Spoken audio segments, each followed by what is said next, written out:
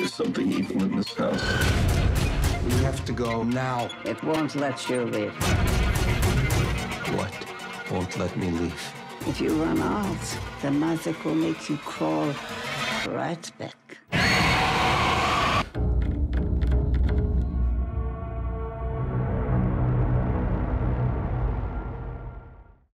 I watched it last night. It's very scary. Watched it like this. um, just want to know how the project, you know, started. Where did this I, idea come from? Mm-hmm. So you know, it, I grew up Jewish, even though I don't have a Jewish name. Uh, my father wasn't Jewish, but um, I ended up in New York at a rabbinical school. Um, Okay. After college, I, I'm not a rabbi, but I studied there and did, and I was very interested in mythology and both theology, and that's how I had first learned about the shomer, someone who watches the body, and that concept, you know, had always stuck with me. And so when it came time to kind of write something like the Vigil, I, I I had that idea, and I thought, wow, how could nobody have thought of this before, or or at least maybe they did, and maybe there were a lot of scripts, but no one had made a movie with that you know setting, and I thought that's something scary. Someone should do something with that. So I kind of poured all the stuff that I had learned into this, um, and tried to make it you know as authentic as possible, but still true to being a horror film. Yeah, yeah, and it's your first feature as well. I understand. is, yeah. Yeah. What was like the most challenging aspect, or perhaps the most unexpected challenge you just didn't come in? yeah. You know, I think uh, one one interesting piece that I, I didn't anticipate necessarily when I Yeah. thought we were kind of going into production was I wanted to film in these communities, like in the actual Hasidic communities, on the streets, you know, right there.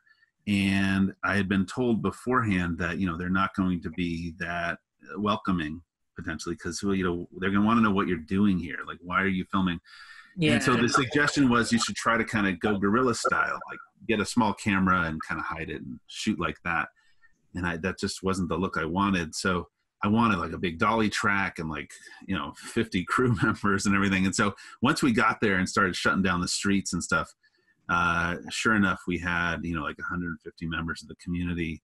At one point, it was like two in the morning, 150 Hasidic men kind of surrounded the set.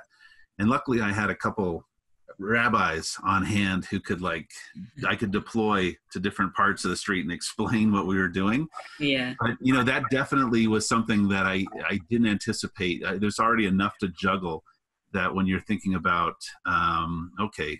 The, the, how the community is going to be interacting and reacting with the set uh, was something different and new. Yeah. Have you always wanted to make a film? I know your background's in like writing novels and said you went to a rabbinical school. Yeah, yeah, and then I I actually had a career in clinical research that I did. That, Okay. that was my. This is kind of my second second life. Um, so yeah, I, I had an interest in film in high school. I, I wanted to be a film director, but I had no idea how you could do that. Uh, coming, Yeah. I grew up in Denver, in Colorado, here in the states, and there was I had no Hollywood connections or anything like that. So. Uh, I didn't pursue it. And it wasn't until much later, after I'd been a writer and started writing screenplays and kind of learning things. I spent about 10 years writing scripts.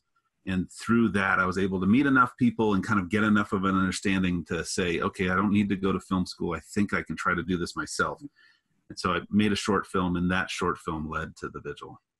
Yeah. And did your medical experience come into play as well? I know one of the characters has Alzheimer's. Yes, yeah. In fact, I did research. Some of, a lot of my research was in nursing homes, where I worked with a lot of people with dementia and Alzheimer's, um, and so a lot of kind of her character and kind of just that house and just the feel came from that directly from that experience.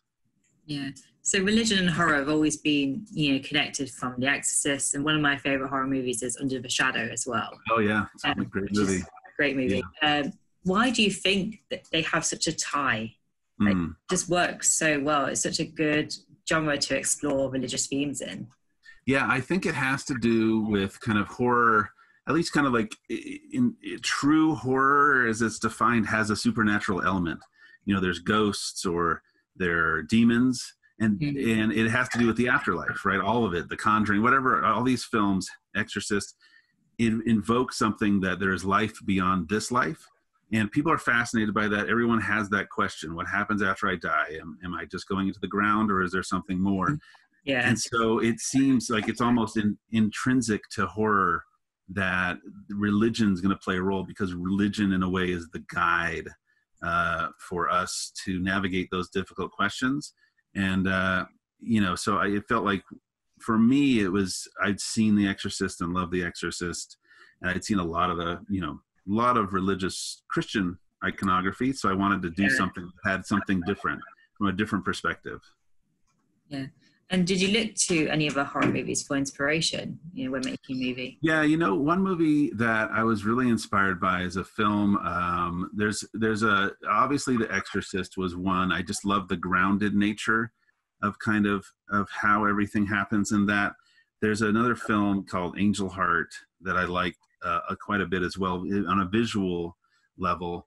Um, and you know, there there were a few others that I there's there's one called Possession. It's a 1981 film that kind of what I was most interested in was kind of the emotional reaction to to being in a situation that you can't explain Mm. and that you can't get out of and just how do you how do you take a character put them in that situation and and try to go through those emotions as they're trying to figure something out that was it was important to like look at films that were doing that Yeah, yeah.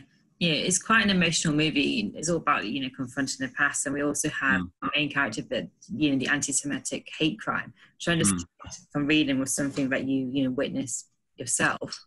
Yeah, when I was in New York, I had seen some kind of just whatever, just some guys on the street who har- harassing a little Hasidic boy. That you know, wasn't quite as violent as is in the film, Yeah. but it was shocking enough. It was shocking enough, and, and the thing that was most shocking was how nobody did anything, including myself. And I was just kind of this bystander to it, and I felt a lot of guilt about it afterwards. And it was just like, how does this happen that we can let people do this and that this happens? And what did it do to that boy? And like when he went home after that, what is his impression of the world? Mm-hmm. And is he afraid to go out again? And it explained a lot in some ways of why communities bunch together and isolate themselves, um, which explains a lot of what how the Hasidic community lives in New York City. Yeah. One of my favorite things about the movie is the score is just Oh yeah, I think scores and horror is so integral anyways to building suspension, but I'm not sure who did the score, but um yeah, why was it so important to you to have this, I suppose, incredible score? yeah. No, it's Michael Yezerski who did the score, um, and he he and I talked for a long time about kind of what this needed to look like, what this had to feel like. I think the initial reaction, kind of when we, we were first discuss, talking about it, the, the, of course, the first idea was like, well, we should make it sound Jewish. It should be like Yiddish music. It should have violins and stuff like that. And Yeah. I said, no, no, no, we're not in, we're not like in Eastern Europe. This has got to be modern. This is in New York City. So I, I wanted a kind of very industrial sound. And it turned out that Michael and I both kind of have, uh, you know, really like the band Skinny Puppy and kind of this early industrial music. Um, and so we incorporated a lot of that into this. And it was interesting because the sound design and the score kind of have to work together very closely. Yeah. And it's hard to tell a lot of times what is score and what is sound design because they're kind of bleeding over into each other.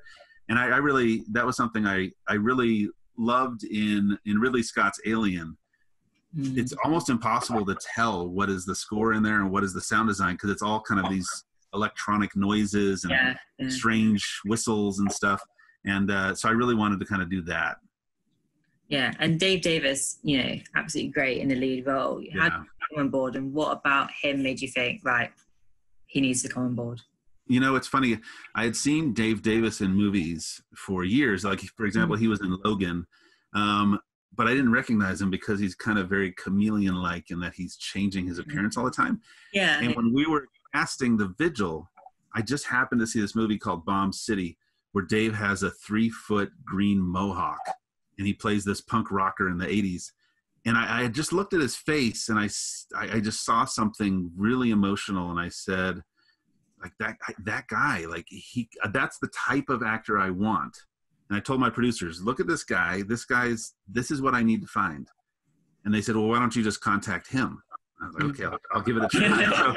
I, I emailed him and he responded and uh, he read the script and he really loved it. And it turns out that his family's from a very similar area in New York, New Jersey. Okay. Um, it has a very similar history to mine, in fact. And so, you know, we kind of bonded over that. And then, you know, from the very beginning, I had told the producers that for this film, there are three locations there's New York City, Brooklyn, technically, there's the house that this film takes place in. And then there's the lead character's face. That is like our primary location because that is where the camera is going to be and it's going to be wordless a lot of it so that performance i need it to be right there and dave is just expert at doing that And also very funny as well. One of my favorite, I suppose, moments that made me chuckle was when he's searching how to talk, how to, how to talk to women. Yeah, He's very good at um, how to cope with fear, but also the the comedy, which is something yeah I think you really need in horror movies. You need that. You know. you do need that and it's funny that that moment came from a very real moment in that I'll, for example in the beginning of the film we see this uh, this group that meets and talks about how they kind of relate to the to the the non-Jewish world because these are this is a help it's a self-help group essentially. And that's based on a very real group and the people who are at that table were all part of that group. They're you know some are actors some are non-actors and they are they're there kind of replicating the meeting. And the thing of looking up how to talk to girls came from one of these people who you know in their community their marriages are arranged. They don't they don't meet girls and date. So when this guy had left the community he had no idea how to talk to women um, and so he just googled it and so i thought that's great we got to we got to include that and we'll have dave kind of just be very naive and yeah. how, you know in the modern age how else would you learn if nobody taught you you just kind of go Yeah. online and try and figure it out I don't think I don't think the internet will have the correct answers. Yeah. right. Yes, Yeah. indeed.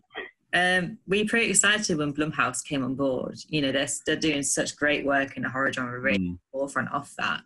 Yeah, and I've been a big fan of Blumhouse for a long time. So after we had our premiere at the Toronto International Film Festival, um, I was in Texas at a, a film festival called Fantastic Fest at the Alamo there, and um, uh, I got a call from my manager that Jason Blum wanted to talk to me, and Yeah. I needed to fly out to LA the next morning. So I kind of cut the festival short and flew out and met Jason. And, you know, it was amazing. It was amazing to be in his office, you know, with all those posters, Insidious and Halloween and all these things, and kind of talking to him about the vigil, um, which he really, really loved and wants, you know, at the time was like, we need to distribute this. And uh, so it was, it was huge. It was really exciting. And I'm really excited for the US release, which will be in the fall um, and kind of what Blumhouse has planned is exciting. And what's next for you after, I believe, Stephen King adaptation? Yeah, yeah, it is. It's so that is also with Blumhouse and Universal, and that's Firestarter. Um, so it's a kind of new adaptation of the book. Uh, I'm a, I was, you know, when Jason kind of pitched Firestarter to me, it was exciting because that was one of my favorite Stephen King novels. certainly growing up it was and i while i really did like the 1980s film i felt like we could do something new with this. And then when i read the screenplay which is written by the guy Scott Teems who wrote halloween kills the upcoming halloween Mm. um, it's an amazing script. It's amazing script. It does it, it kind of both has everything you'd want in a stephen king you know a new adaptation of firestarter. If you want to see people's heads catch fire and see their faces melt off you'll get that uh, but if you also want to see a dad and his daughter on the run trying to survive being chased in this kind of heightened emotional very tense experience you're going to have that too so uh, it's something exciting we're hoping to film it this year um, you know covid withstanding and uh, you know it's it'll be a lot of fun Yeah, yeah. It must be exciting for you as a Stephen King fan as well. it is you know Opportunity. right I, I definitely it was it was not anything i expected you know when i Mm. was kind of charting the course after the vigil in terms of what other projects i had been developing and other things that stephen king was definitely not something that i had thought would you know come to me so it's both humbling but also really really exciting yeah, yeah. And does he have, you know, involvement in it? Like, would you have He meetings? does to a certain extent, yes. I mean, he watched the vigil uh, and kind of approved me as director, and he also was very involved. You know, he read the script from its earliest stages to its latest. He's very very happy with the script, which is great. Um, and he you know he's excited for this kind of this Firestarter. So uh, you know his involvement, you know, it's there. It's there kind of the whole way. Yeah. Uh, one final question because I just love asking horror directors this. What Sure. What's the movie that scares you the most? that scares me the most. Let's see. You know, uh, you know, you know. It's interesting. I, I feel like the some of the films that I that I kind of have sleepless nights with would be something. Mm, there's a, there's a bunch of them. Let me think of the, the the best one. The best choice here um, would be you know. There's a movie called Henry: Portrait of a Serial Killer. That's like a. It's an incredibly disturbing kind of. It, it is exactly what it sounds like. It's a serial killer film, but it's got this amazing central performance that is just so haunting and so disturbing that that film even though it doesn't have a supernatural element it still feels very true to horror. Um, and it's a film that if you've seen you'll never forget which in some ways is kind of not a recommendation because if you've seen it you'll never forget it. Um, but it's so well done and uh, you know it is just it's so effective that that it scares me it definitely scares me a lot Well, I had a sleepless night last night thanks to your. sorry, So- sorry, but good. I'm glad it worked.